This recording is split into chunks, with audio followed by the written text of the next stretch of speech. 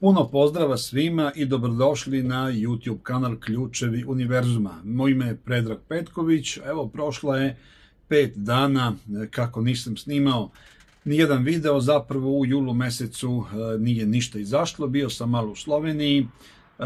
malo u Italiji i tih par dana dok sam tamo bio jednostavno nisam stigao da snimim ništa, iako ja gledam i kad negdje odem da budete u toku, da pratite događaje,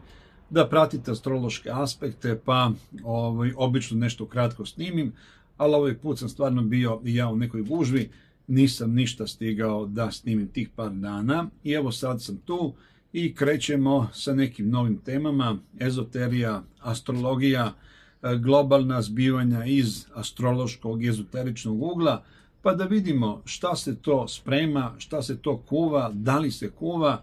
da li je to samo pretpostavka ili se možda zajedno kuje i krije neki novi plan. E, zašto je ovaj naslov ovakav kakav jeste, e, novi talas, zaključavanja, bodenje i sve ono čemu smo bili izloženi proteklih nekoliko godina. Dakle, situacija se e, prividno smirila, na neki način se sve vratilo u neku vrstu normale, Ljudi funkcionišu, izlaze, idu po restoranima, putuju, druže se i deluje kao da se sve nastavilo onako kako je bilo pre toga i da jedna teška faza, jedan loš ciklus, jedna loša energija prošla. Mnogi su i zaboravili za sve one torture, zlostavljanja, ucenjivanja, izazivanje strahova, panike i svih ostalih destruktivnih elemenata kojima smo bili izloženi čitavih eh, dve, dve i po godine, koliko je tačno bilo, kako, gde, i u jednome sve to, odjednom je sve to stalo. Deluje kao da se sve završilo, kao da eh, se takva stvar više neće ponoviti i kao da je jedan takav način i, i stil našeg života koji smo, ta, koji smo tad živeli završen. Naravno, ja kažem da svi treba da se da normalno funkcionišu, e, niti treba da imaju bilo kakvu vrstu pritiska, e, straha ili bilo kakvih drugih restrikcija zbog toga što su živeli tako kako su živeli e, unazad tih par godina, ali ne treba da se zaboravi šta se desilo i ne treba da mislite da su oni odustali od neke ideje koju nisu uspeli da sprovedu u ovom talasu 19. 20. 21. negde do 22. koliko je negde e, taj udar bio jak na celo čovečanstvo, a negde znamo i sami da su zaista bile brutalne scene zbog svega onoga što ljudi nisu hteli da poštuju i što su na neki način ovaj, protiv čega su se borili, protiv čega su se bunili. Odjednom je sve to stalo, e, krenuo je rat u Ukrajini i više nije bilo ničega od onih pretnji da samo na ovaj način može sve da se zaustavi, da ako primite to i to, to je jedini spas, ucenjivanja, mučenja, otkazi, da ne možete da uđete u restorane, kafiće, u bioskope, pozorišta, da ne možete da putujete bez nekih dokaza i tako dalje.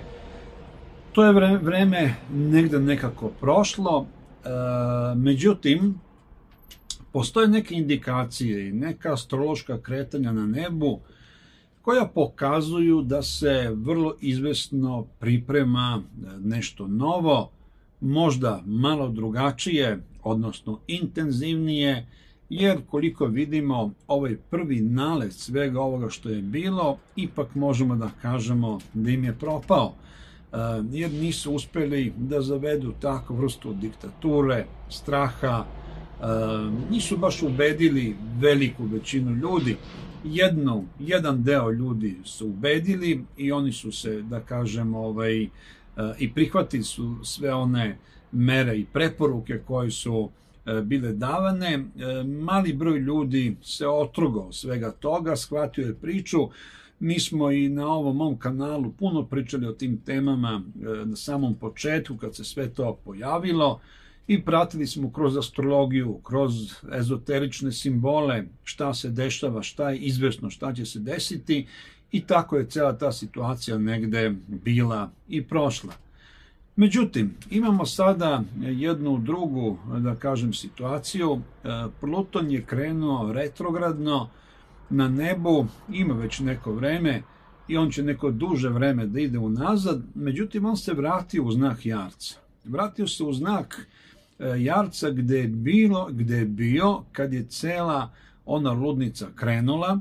e, kad je zapravo sve u simbolici Plutona i krenulo da se dešava. Pa znamo da, su, da Pluton upravlja strahovima, fobijama, e, zatvaranjima, smrću, pretnjama, virusima e, i svim onim elementima koji su na neki način bili uključeni u onu priču koju smo slušali i vidjeli smo zapravo šta se dešavalo sa tim Plutonom u znaku Jarca, jedan dobar period je tu bio i Saturn, pa i on isto išao retrogradno. Mi sad imamo ponovo da se Saturn kreće unazad, doduše iz riba, ali opet iz znaka koji predstavlja izolaciju, zatvaranje, zaključavanje, bolnice, pretnje, strahove, bolesti. Znači, mi imamo tranzit Saturna kroz takav jedan znak koji jednostavno nagoveštava za sad planove, ideje, namere, oni koji su to radili pre par godina, da takvu stvar ne da ponove, nego da je možda utrostruče, upetostruče, zato što ova situacija nije dala željeni rezultat kakav je negde bio plan. Neki kažu da je to bila generalna proba, neki kažu da je to bio glavni udar koji je, da kažem, pripremao teren za nešto drugo, a mi shvatamo da ipak ono što je bio cilj, namera, e, koja je, da kažem, je bila sprovedena, nije ispunjena, ni makar nije do kraja, i naravno da oni neće ni da bace to što su napravili, nego čekaju da se napravi neka nova varijanta, neki novi plan koji bi za ljude bio teži, pogubniji, smrtniji, E, gde bi više zastrašili ljude, zaplašili i ponovo zapravo pokušali da nametnu određene fašističko-satanističke, da kažem, ove e, uslove života koji bi ljude potpuno e, lišili slobode kretanja, mnogo duža zatvaranja, mnogo opasnije da kažem ovaj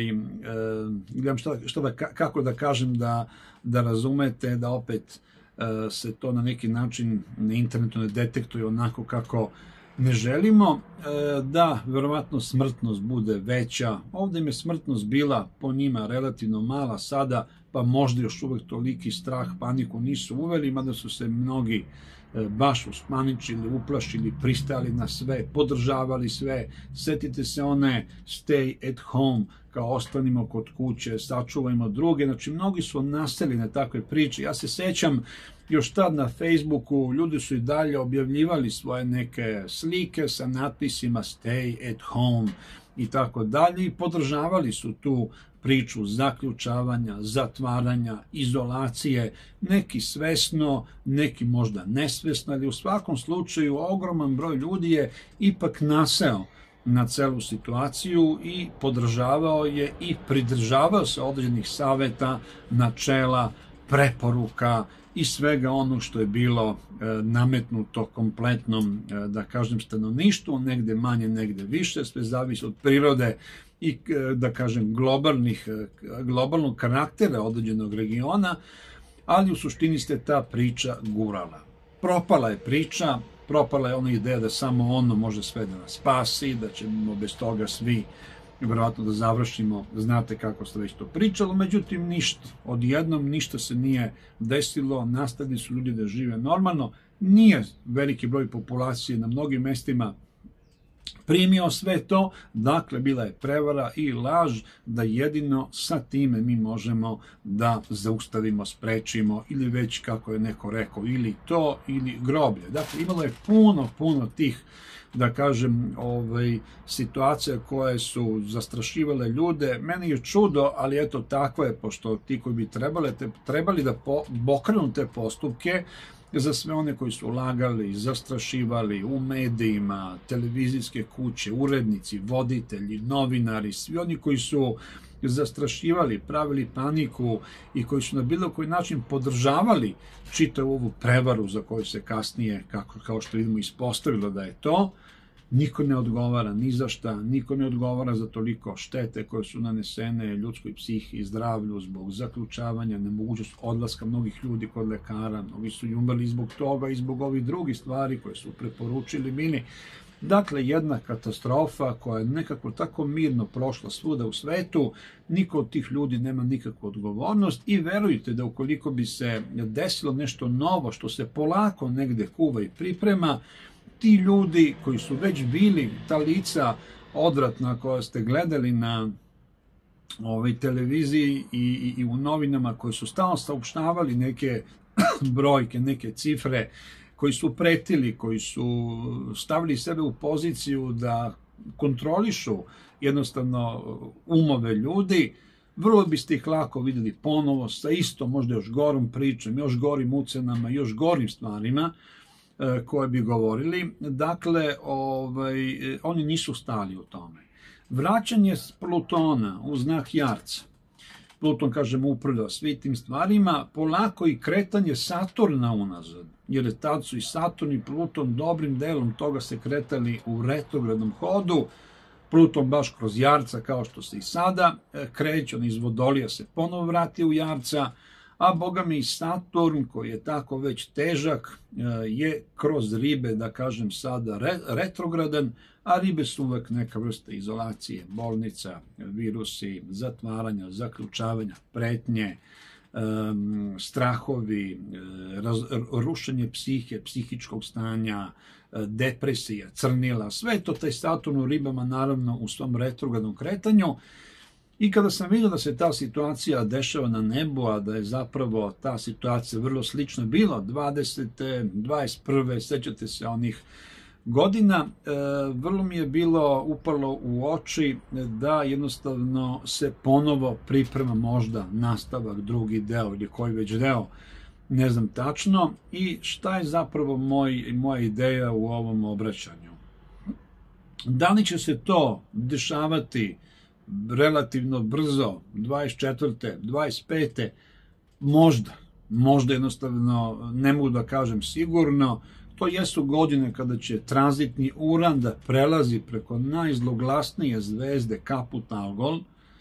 i zajedno sa ovim ovakvim nekim aspektima koji pripremaju teren, vrlo izvesno, vrlo je moguće da dođe do opet nekih globalnih tako promjena nagore u tom kontekstu i pokušaja da se kroz jedan suroviji, intenzivniji, strašniji način ponovo nametnu neke stvari koje tada nisu u potpunosti e, bile nametnute. Dakle, e, s obzirom da i oni znaju da je stvar provaljena, međutim ima onih koji dalje veruju da je bilo sve ono što su ovi pričali, i onda će e, vrlo izvesno da puste nešto novo sa verovatno većom smrtnošću, većom opasnošću, snažnijom nekom, da kažem, zarazom. Da li će to biti bukvalno nešto tako ili će opet biti nekih signala 5G mreža, aktiviranje nekih e, talasa za koje mi jednostavno ni ne vidimo da postoje, koji će uticati ko zna na kakve stvari u telu, šta mogu sve da proizvedu i da izazovu, mi ne znamo kakva ona e, tehničko, e, biološka oružja imaju,